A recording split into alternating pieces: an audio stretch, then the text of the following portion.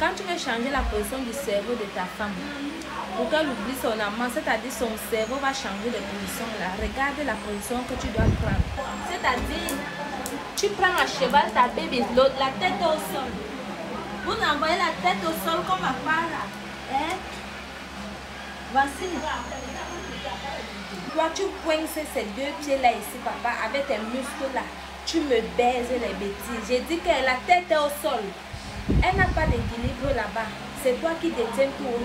Parce que tu as pieds en haut, quoi. Je dis que tu me baises. Ouais. Et toi-même, tu vas entendre la qualité des pètes qui vont sortir. Ce n'est pas les c'est pas les silencieux là. Hein.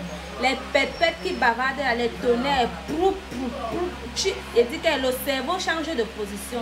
Elle oublie son amant. Retenez les bêtises une seule fois. Parce qu'en réalité de trop verser, ça finit le sang.